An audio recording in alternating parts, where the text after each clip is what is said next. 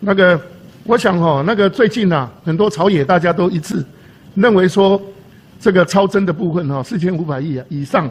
因为到十一月底就已经我们的整个税收啊已经达到三兆以上，哈，那很多呃朝野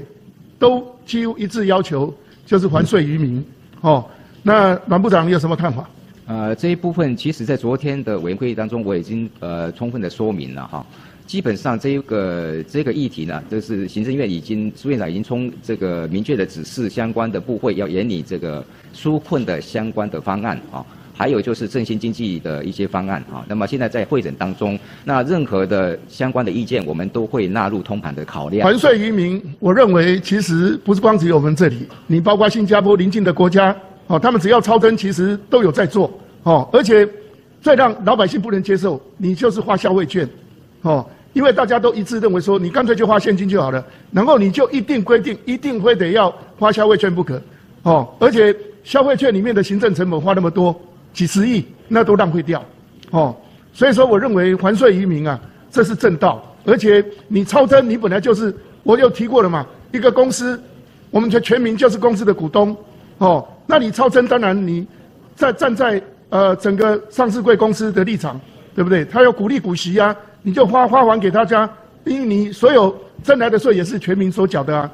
对不对？跟委员报告了哈，就是说我们现在的实增数超过预算数，其实只是估算的问题了。因为在编预算到执行的时候，大概有一段时间。那你年年超增啊？不是今天而已啊。但是超增我们是基本上目呃过去的做法是用在减少这个发债来还债，然后还债实实际上你还了多少？对不对？我要你把统计数据拿出来，你们也没有。再一次，这我简单的讲。那你们就列入税期剩余，对不对？呃，我跟委员报告哈，就是说从一百零七年到呃到去年为止哈，我们实际上还债的五百二五千两百二十七亿，这个是实质还债。以前还债都是通常都举新债还旧债，那这一次呢是五千多亿。那我请教，哎我们从头到尾，从蔡英文上任到现在为止，我们超增的整个实际上超增的费用税税收有多少？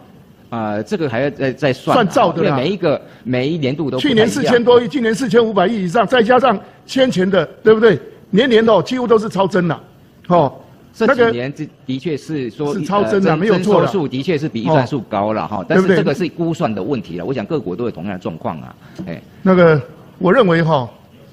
老取之于民，用之于民，哦，那你当然你超增，你就是应该要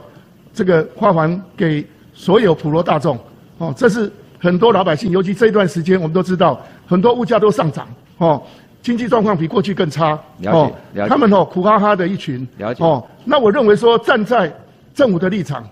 还税于民这很正当啊，对不对？哦，我是希望阮部长，我认为你蛮有 gas 的，而且你讲话比较真诚。那你认为这个超增的，站在财政部的立场，你们认为是不是要就是还税于民？这一部分，我想就是由这个相关部会哈，就是通盘的考量了哈，就考量。因为第一个要考虑到，就是说要相关的这个裁员，这是第一个。第二个呢，就程序上也要透过预算的程序，还有这个特别法的规定，有六法院哈。因为哦，东西要大家要有共识。立法院哦已经啊，哦这个马上要休会，元月十三号，哦时间很短，哦那其实要不要做一个决定哈？你要让全民了解，哦那你不要说拖了拉了哦，然后。又又讲说这个是并入税计剩余，哦，结果你后续也没有交代，哦，我就特别提到说，呃，这个租金的补贴，哦，你七月一号宣布编三百亿，哦，那三百亿其实哈那个时间上，哦，你拖到年底，哦，这个其实也没有申请完呐，然后你为什么不前年来编？为什么要选举的时候来编？所以说税计剩余，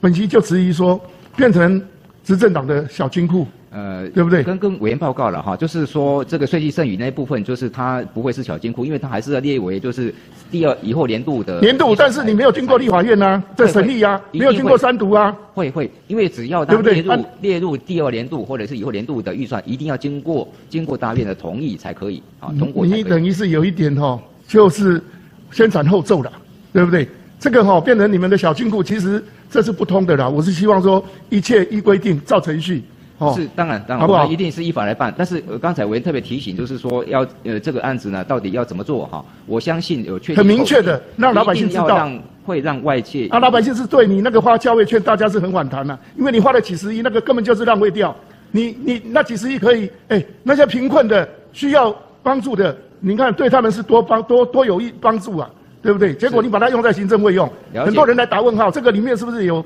有特别图利哪些人？了解委对不对员的意见，哎了解委员的意见，好不好？谢谢。谢谢。好，谢谢。